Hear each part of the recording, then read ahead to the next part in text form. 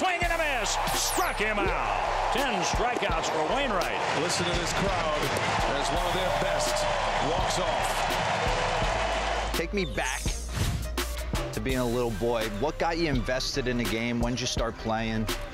Started playing when I was really young. My brother was seven years older than me, so by the time I was three years old, I was wearing a Dale Murphy jersey everywhere. Number three, Atlanta Braves back in the day. He drives this one a ton to right center field, and the ball game is tied.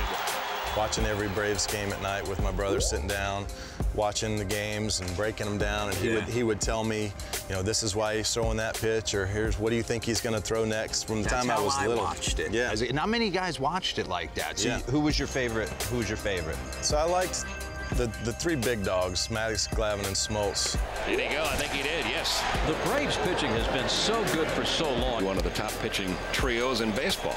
Each had something that I really loved and that my brother and I would just always study. And Maddux, is, his chess moves out there. He's always three steps ahead of everybody. He was the smartest, but he moved the ball around. Just unbelievable. Always had him off balance. Greg Maddux has done it again. A shutout. Boy, he pitched a beauty here today. And then you looked at, at Glavine, and you could never tell whether it was the first inning or the ninth inning, if there was bases loaded, or if he was losing 10 nothing or winning 10 nothing. He was the stone face, always focused. Inside corner fastball. Strikeout number 10 for Tom Glavine. And then you had Smoltz, the ultimate competitor, who, you know, when it came playoff time, that's the dude they wanted on the mound. wanted, right? And he was just ferocious, and you could tell in his body, like his body language and his facial expressions, that he just wanted it, you know.